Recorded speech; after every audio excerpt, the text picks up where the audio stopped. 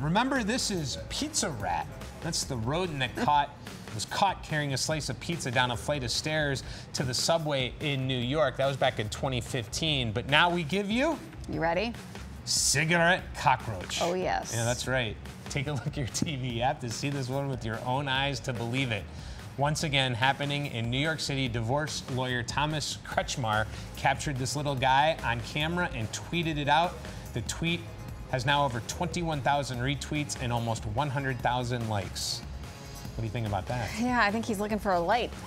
That's what I think. Yeah, but we're not sure if he found one. We don't uh, know. Yeah, because Nope. he can only tape and sit there and watch for 90 seconds. I mean, we're busy, especially in New York City. We're going. You can't just sit and watch cigarette to cockroach for no. more than 90 seconds. You gotta catch the subway. Right. That's right. You gotta, You gotta get on. when you gotta right? go, you gotta, go. go.